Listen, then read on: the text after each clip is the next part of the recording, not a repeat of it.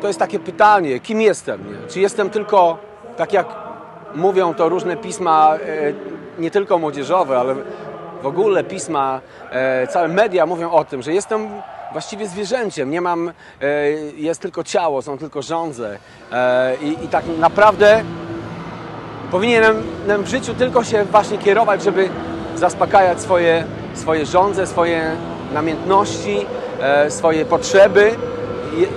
To jest właściwie gorzej niż zwierzęta, bo zwierzęta nie mają rozumu, e, a my mamy duszę i, i ducha, nie? I, I to jest straszne kłamstwo, że e, wmawia się nam, że, że człowiek nie posiada duszy, nie posiada metafizyki, a myślę, że każdy czuje w sercu, właśnie kiedy przychodzą e, takie, kiedy przychodzą sytuacje właśnie takie ekstremalne, kiedy, kiedy mm, tak jak właśnie w Smoleńsku, tak jak wcześniej przy śmierci Jana Pawła II, wtedy się okazuje, jakie naprawdę jest życie, nie? Że, że okazało się, że można żyć bez mediów, że można żyć bez supermarketów, że, e, że wtedy wszyscy to po prostu czują, ale chodzi o to, żeby, żeby robić to właściwie codzien, w takim codziennym życiu, nie? że ja daję świadectwo prawdzie, daję świadectwo temu, że jest Bóg i że ten Bóg kocha człowieka i kocha grzesznika. Nie? To jest właśnie przede wszystkim, to jest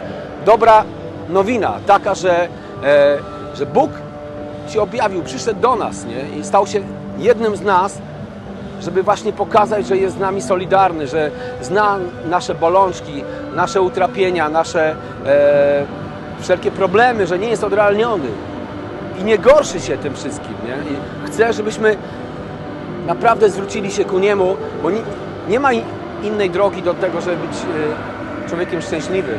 E, jeżeli ja tego doświadczyłem, tej, tego, że Bóg jest dobry, że on, mnie wyciąga, że mnie tak naprawdę mnie chroni przed samym sobą, to znaczy przed moimi właśnie e, przed moimi różnymi właśnie porządliwościami, przed tym, że, że, że, że żebym nie kierował się, się tylko ciałem swoim, nie? I, I wtedy to jest, może to nie jest łatwe, nie? Ale summa summarum po tym wszystkim naprawdę czuję się, że, że to jest właśnie droga, nie? Że, że wtedy czuję się naprawdę zadowolony, nie? A te rzeczy, które e, się wydają takie bardzo, bardzo, bardzo atrakcyjne, e, co się wiąże z grzechem często, bardzo na krótką metę działają, nie? Że po, takim, po takiej euforii bardzo krótkiej przychodzi wielki smutek często i jakieś właśnie wyrzuty sumienia i, i, i to, że potem przychodzi diabeł i, i mówi, że, że, że jesteś nic nie wart, że nie masz szans, że jak ty możesz w ogóle znowu wstawać, nie?